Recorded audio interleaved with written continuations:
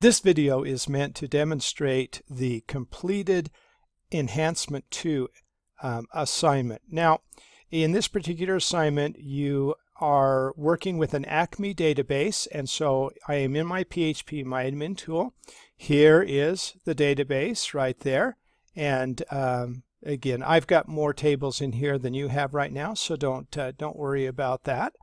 But in addition to having the Acme database with the tables in place, you should also have created a user.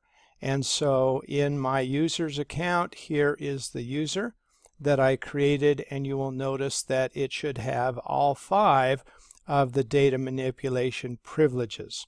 Okay, so the database is in place. Then the enhancement calls for you to have created a file called connections and inside of this file you were to create a function and the function should be named Acme Connect and inside of it it should have everything that is needed to talk to the Acme database in the uh, actual database itself.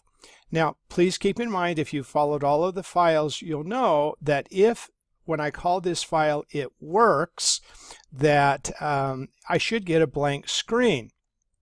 And so uh, if I run this file, notice here is the result.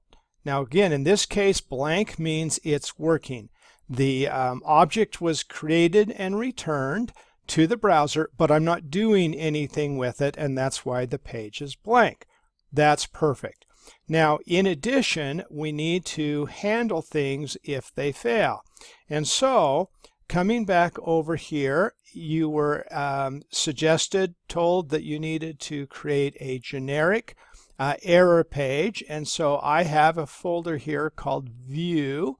And again, you're not at this point, so don't worry about it. But here is my generic error page.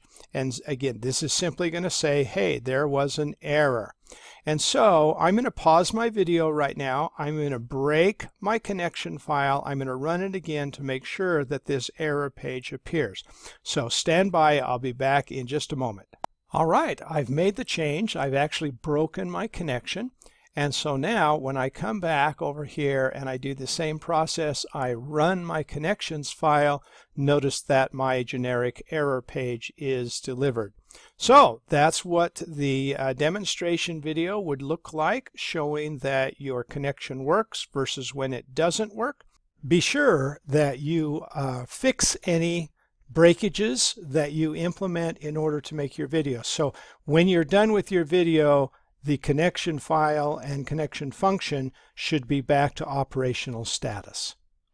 And I hope this helps you out. So good luck with your enhancement, and I look forward to seeing the results.